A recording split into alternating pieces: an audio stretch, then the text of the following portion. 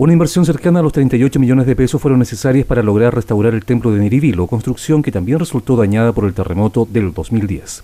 Con el terremoto sufrió daños eh, no estructurales, eh, solo determinaciones, estucos, em, pinturas. Em, sí se, cayó una parte del, corredor lateral em, y, estamos terminando y entregando ahora eh, un proyecto, que, una obra que, que se realizó con recursos del gobierno regional que consistía en la reparación de esta iglesia. Y básicamente fue la reconstrucción de alrededor de 200 metros cuadrados de corredor, eh, con la misma materialidad, eh, un proyecto que fue aprobado también por por monumentos internacionales. Si bien es cierto, este edificio patrimonial previamente había sido sometido a trabajos de restauración, la violencia del sismo causó algunos daños en la techumbre, los que también fueron reparados, con lo que se logró dejar una iglesia similar a lo que era antes del terremoto y cumplir además con las exigencias de monumentos nacionales. Eh, el monumento nos pidió que se usara las mismas maderas, eh, eh, recuperar las mismas maderas que incluso se habían caído,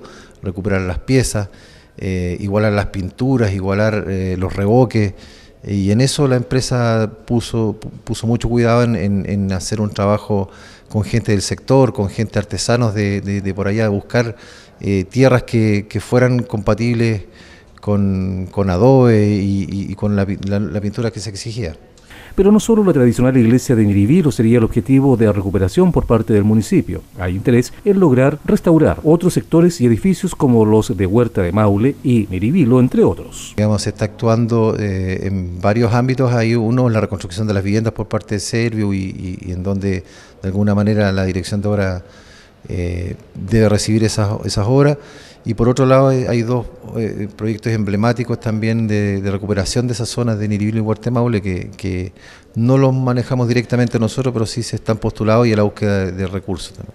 Y aunque fue necesario volver a invertir en la iglesia, hay que destacar que los trabajos realizados previamente resultaron fundamentales para no perder este patrimonio cultural.